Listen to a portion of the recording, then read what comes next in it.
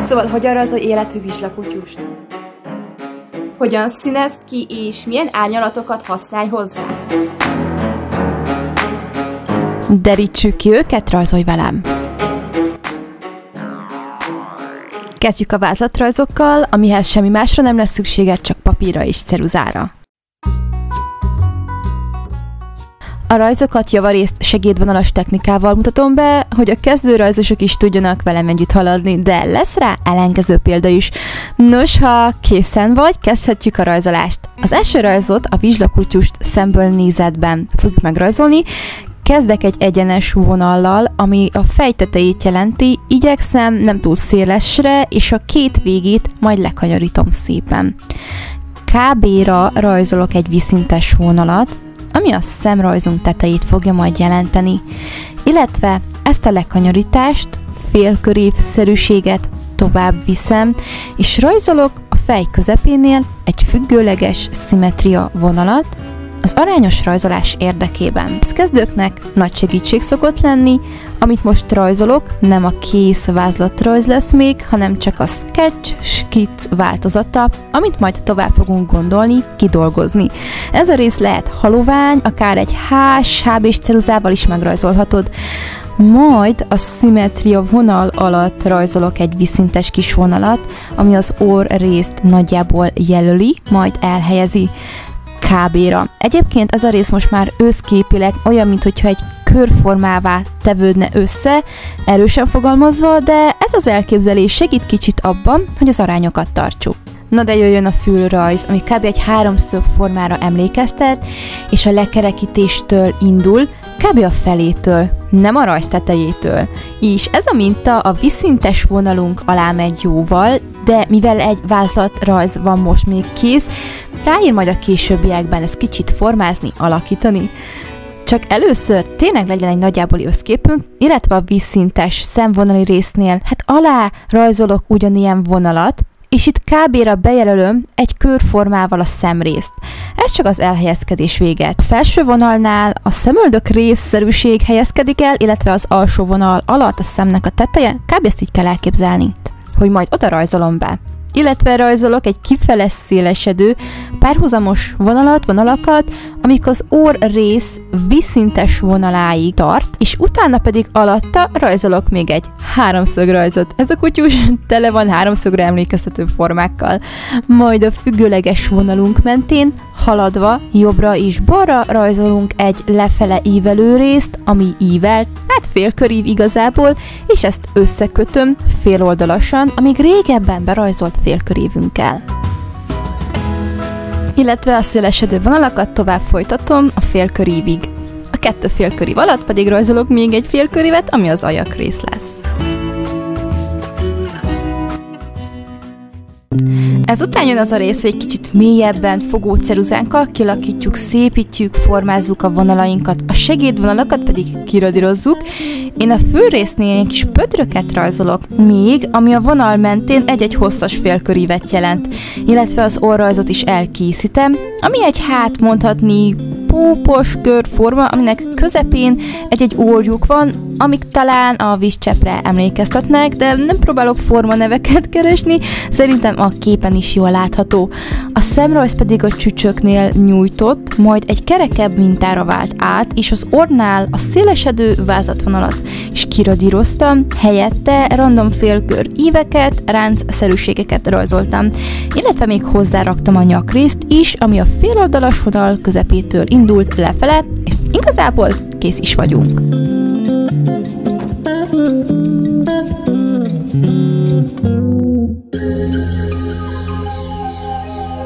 És mint ahogy ígértem, mutatok példát arra, ha segédvonalak nélkül szeretnénk rajzolni, a rajzolás lényegében ugyanúgy teszem.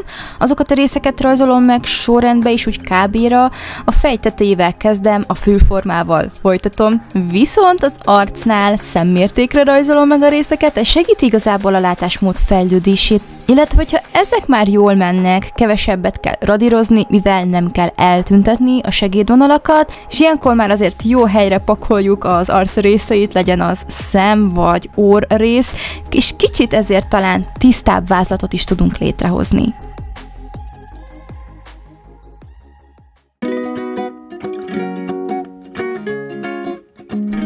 Most pedig egy jobbra néző kutyus fogunk rajzolni, háromnegyedes nézetben. Rajzoljunk szintén egy vízszintes vonalat, aminek a két oldala szintén elkanyarodik, illetve itt alul is érdemes ezt a vízszintes vonalat megrajzolni, és arra kell ügyelni, hogy a jobb oldali rész egy kicsit fölfele ível és kisebbnek mutatkozik. Ezt a formát lényegében se nem kockának, se nem körformának nem mondanám, hiszen annyira átmenetes az egész. Mivel nem szemből nézetről van szó, nem háromnegyedes nézetről, az arcnak majd a bal oldala az sokkal jobban fog látszódni, a másikhoz képest, így a függőleges szimmetria vonalunk sem középen lesz, hanem jobb oldalra kitolódik. Ennek mentén belülről kb. a formák háromnegyede részétől indítsunk el egy lefele eső egyenes vonalat, ez lesz majd az orr rész, és a körszerű formánk, hát úgy az aljánál, kb. a közepénél elindítunk, szintén egy ilyen lefele ívelő egyenesebb vonal, ami csak egy kis ideig tart, és onnantól kezdve már átvált egy félkörívbe, ami összekötődik ezzel az orr résszel, de itt látjátok, elég érdekes formát ölt, úgyhogy elmondani nehéz, de szerintem egész jól látszik. Lényegében a félkörív után ismét lesz egy féloldalas vonal, illetve egy felfele ívelő vonal is, itt kötődik össze az orrésszel. Közben pedig az egyenes vonal kezdetétől rajzolok lefele egy homorú vonalat, ami átvált a jobb oldali irányba egy rendes domború vonalá, és szintén összekötődik az orrésszel. Most pedig a körszerű formánk bal oldalánál kb. közepénél, kicsit belül indítok el egy hullámos vonalat, ami a viszintes vonal alá megy, illetve egy ilyen háromszögszerű formát kialakítva, kicsit beljebb hozok létre ismét egy félkör vonalat, ami összekötődik az előbb rajzoltakkal, illetve alul is megismétlek egy ilyen félköríves vonalazást.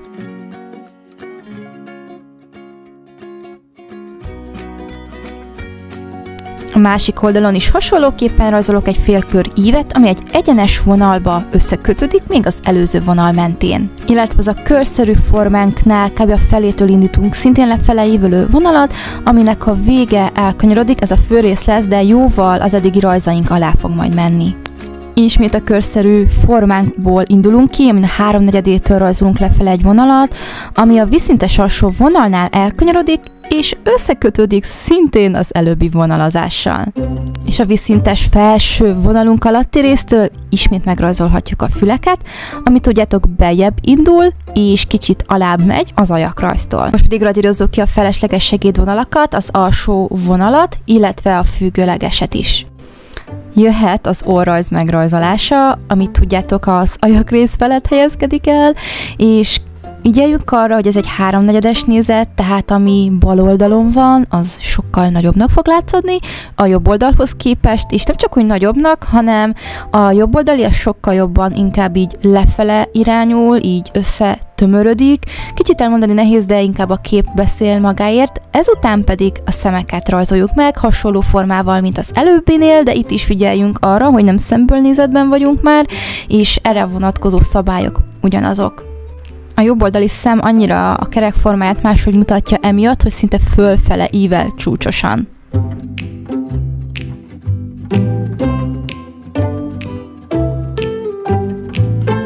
A szemrajzokat nagyjából rátok bízom, hogy merre helyezitek el. Elsőre én azt mondanám, hogy a körszerű formánk közepénél, de nekem kicsit szimpatikusabb volt, hogyha picivel alább lőjük, kicsit aranyosabb arcot ad vissza. Illetve talán még azt mondom, hogy ha jóval élethűbbre akarjuk megrajzolni, akkor az előbb lekerekített vonalrészt inkább azt hagyjuk el, és helyette vigyük tovább egyenesen ezt a vonalat. De lényegében ez is attól függ, hogy nektek hogy szimpatikus, kicsit így komorabb az arc kifejezése, és nekem valamiért ez így jobban tetszett, mert valahogy nekem ez így realisztikusabbnak tűnik. Na de jövök még egy példával, gyorsítottabb verzióval, hasonló háromnegyedes nézetben, csak a másik oldalon.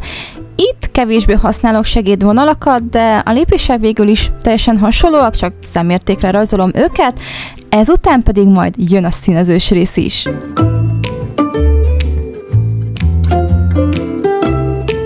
Mindjárt megmutatom nektek, hogy milyen árnyalatokat használtam. Én, nekem melyik a kedvenc ceruza márkám, amivel nagyon szeretek élethű kis kedvenc rajzokat készíteni, illetve a technikáról is beszélek bővebben, de egyébként erről van egy konkrét videóm, ami nagyon részletes, és amikből nagyon jól lehet tanulni.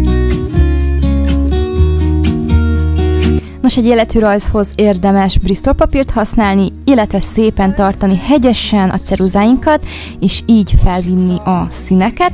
Én egyébként hobbikést használok, amivel nagyon vigyázzatok, mert éles szokott lenni. Előtte, is előtt fölkarcolok szőrszálakat, és igazából itt erről is van szó, hogy egyesével rajzolunk szőrszálakat, amit világosabb fehéres színnel összemosunk. Kapunk egy ilyen sűrűbb réteget, és arra újból rámegyünk, egyesével megrajzoljuk a szőrszálakat ismét, és ekkor már használhatunk mélyebb árnyalatokat is. Na de a részletes videó ebben a témában, hogy hogyan rajzolj szőrzetet is bundát, konkrétan ajánlott, hogy nézzétek meg, hogyha még nem láttátok és érdekel ez a téma, de akkor tényleg nézzük, hogy milyen árnyalatokat használtam, és milyen színes ceruzát.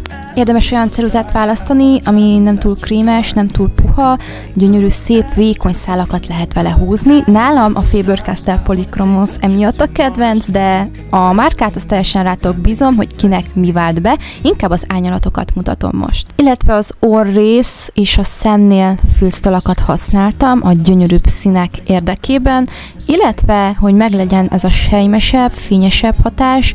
Lekát tudjátok nálam, amúgy is a Fieldstall a favorit, az a kedvenc rajzeszközöm. Szóval a színezésben, vagy a szálazásban az első színem a világosabb, úgy haladok a mélyebb színek felé.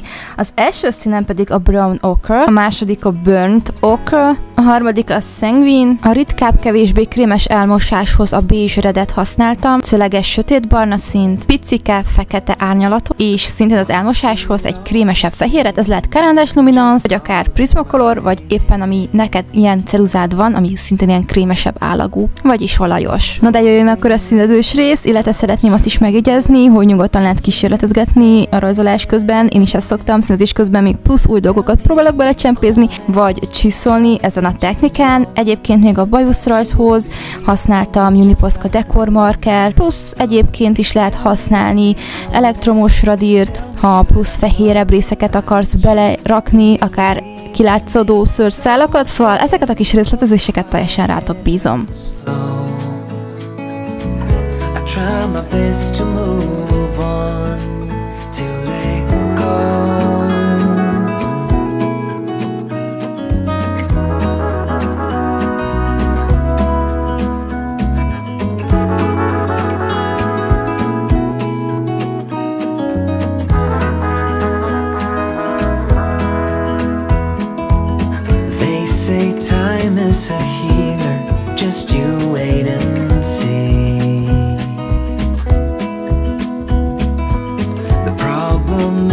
for me.